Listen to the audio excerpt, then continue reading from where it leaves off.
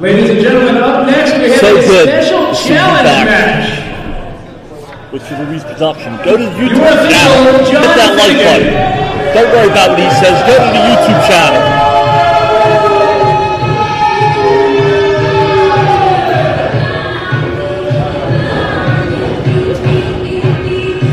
First, making his way down to the ring. Thank God. Is this really Nikos Rikos? Yeah. Okay. Ladies and gentlemen, he is the Spartan Pitbull and the Steelers of professional wrestling, accompanied by Vicky. Weighing in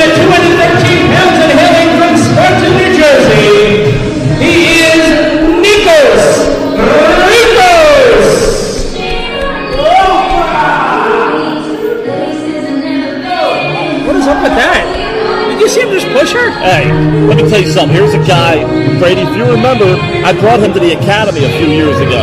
Nobody knew who this guy was. I found him, and I've been begging, begging matchmaker Joe Zanelli, begging the boss Mike Tartaglia. He's very good, I you remember gotta that. bring Nikos Rikos in to the main shows. They, they wouldn't listen to me. Finally, after two years, Nikos Rikos is here and in Newcastle, Delaware, taking on the Cinderella Man and the local hero of ECWA, Chris Wylde.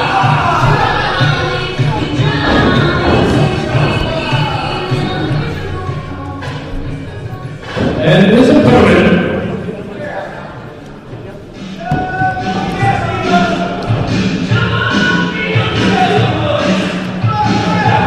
This man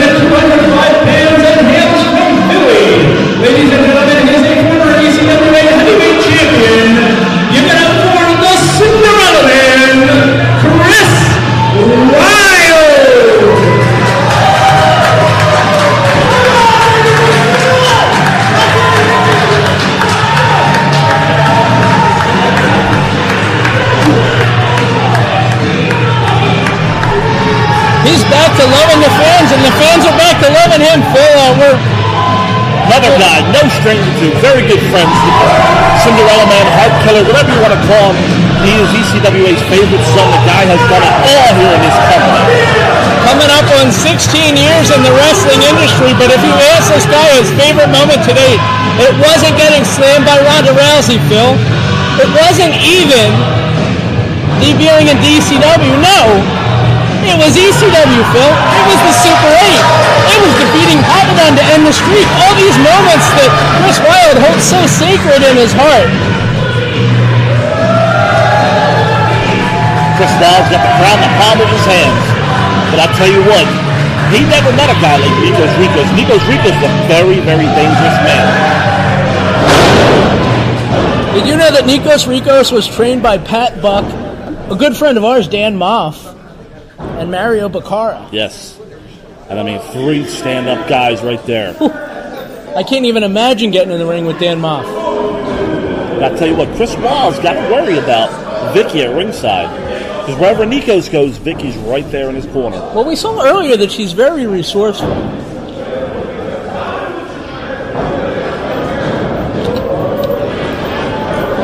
What is Nikos doing right now? Is he stalling? Well, he's telling the crowd here who he is. Looks like he's in the face of a young fan at ringside. Nikos Rikos a few years ago also was on NXT. I forget who his opponent was at the time, but know, Nikos Rikos has been around. I mean, I know he's, he's made appearances for NXT, certainly Impact Wrestling, Global Force Wrestling. I mean, he's been around for quite a while. Uh, also known uh, for his stints with WrestlePro and PWS. So Nikos Rikos is well traveled. Just because he's he's new to the ECWA doesn't necessarily mean that he hasn't had his experiences in the wrestling business. I, I think it's going to be really interesting tonight as we play Wylde trying to take him down with an armbar. And also mention that this is a ECWA Mid Atlantic title tournament match. Uh, the title broken into pieces, as we saw in the Facebook Live video a while back by Joey Ace, Joey Two Belts, known in the PCA.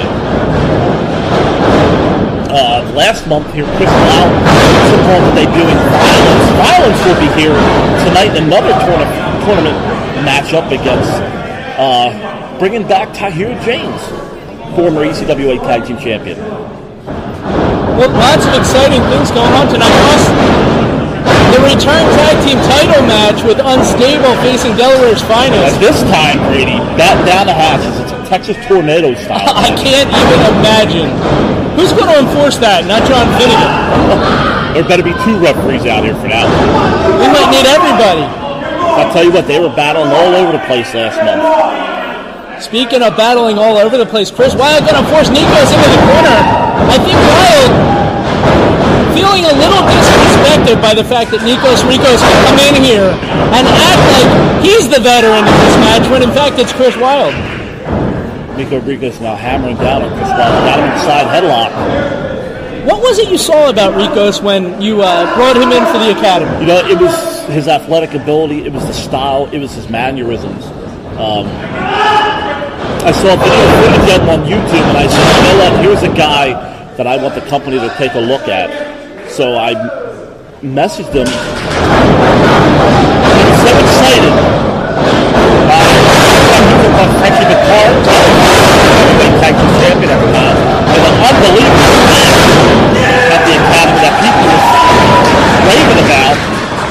kept hitting up the boss and Joe Zanoli. I said, this guy needs to be on the main roster, needs to be on the main show.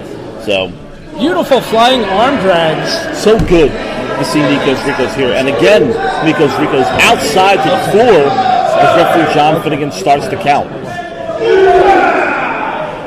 Hey, buddy. Me and, me and Joe just gonna come out together. Oh, It's a okay. tag match. We have we have a tag match. Okay. Now Chris Wylde about to do a double. Nikos Rikos pulls Vicky in front of him, then pulls the feet out from under one. But that's the diversion you were talking about. Chris Wylde's going to have to stay on top of his, on top of everything here. Beautiful knife edge chop, by the way, by the, the former champion Chris Wylde. And I had the opportunity, Phil, to interview Chris for my podcast, which is syndicated not just on the VOC Nation Radio Network, but on ECWAProWrestling.com Yes. as well. And uh, Chris Wylde had a lot of interesting things to say, you know, not just about Nikos, but about the legacy of the ECWA, about what it's meant to him as a competitor. And this not ready to cut you off, but Vicky now jumping up to the ring apron, what the? distracting Chris Wylde here. Referee John Finnegan's got his hands full. He needs to tell Vicky to stay in the corner. Well, what is Rikos doing though? I think, I think he's got to reverse. Oh, oh, into that turnbuckle. Face first, right into the buckle. Uh, he might have even hit the post there. I mean, he went flying over the buckle.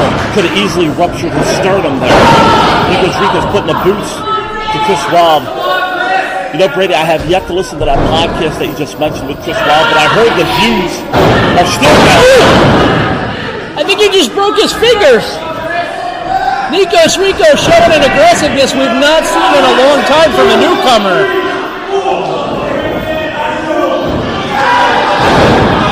That's what we're talking about. Vicky now behind referee John Finnegan's back, choking Chris Wylde over the second rope. Nikos will do anything to win this match, and I do mean anything.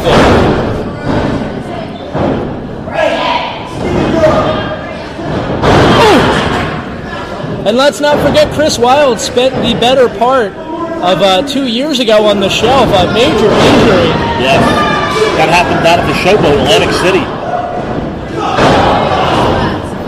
He mentioned on the podcast that he wasn't even ready when he did come back. Beautiful lariat, and I think Wyatt is out cold. Certainly wouldn't have faulted him if he didn't kick out there.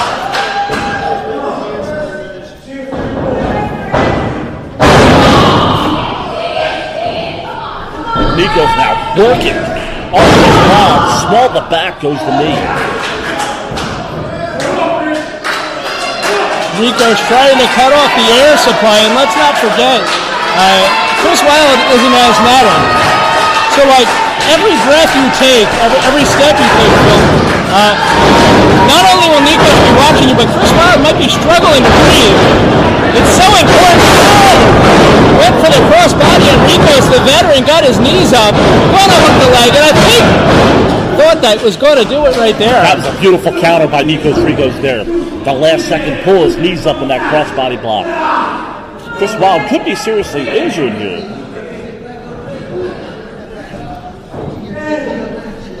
Rikos has not stopped taking the fight to the Cinderella man, and you got to wonder if the clock is about to strike 12 on this.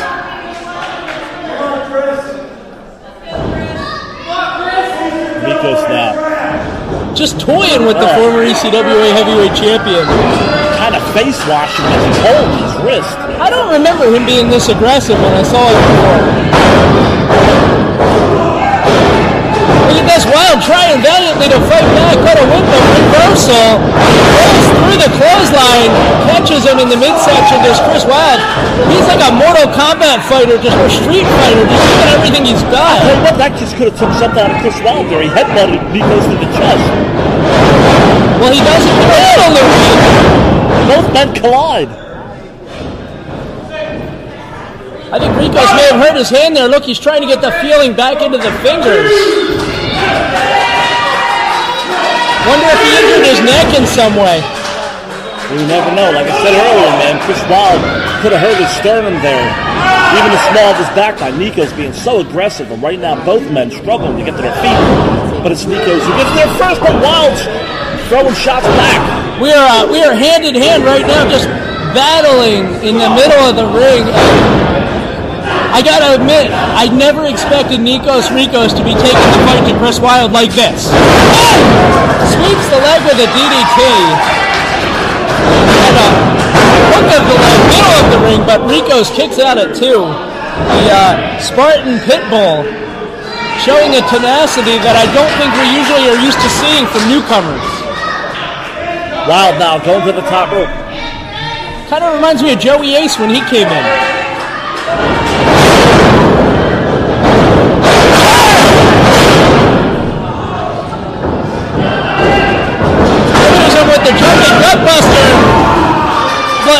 A two count. done by Nikos Rikos. How did Chris Wylde kick at him? Can Rikos and Vicky go two for two here tonight on the way out of Delaware? We already saw one upset tonight. That would be a hell of a debut to start off with.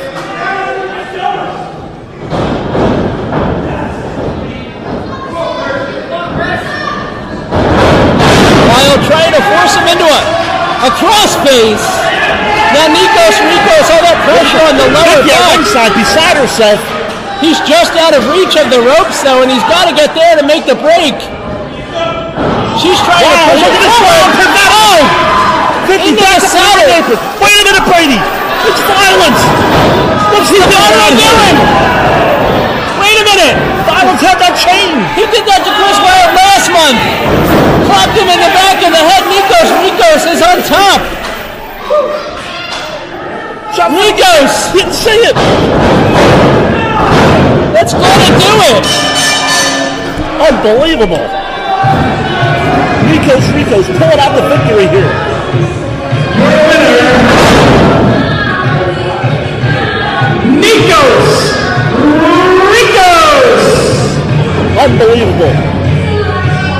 Vicky debuts in the opening match and wins. Nikos Rikos in his first match here. I don't the think- ECWA Big Show takes out ECWA's favorite Chris Wylde. What a debut. I don't think a lot of people saw that one coming, but you know what? I got a feeling maybe your requests haven't fallen on deaf ears. I have a feeling, if nothing else, we're going to be seeing Nikos Rikos and Vicky very soon. Nikos Rikos one step closer to the Mid-Atlantic Championship. Look at him yelling at the camera. We still have another matchup here in the tournament. I love this song too, by the way. You gotta wonder, what was Violence doing out here? Hit Chris Wylde with that chain. Well, apparently Violence has a beef with Chris Wylde. Maybe it was some of the things Chris said about him in the aftermath of their match last month. He still has a welt on the back of his head from what Violence did in uh, in September. It's amazing, Phil. It really is.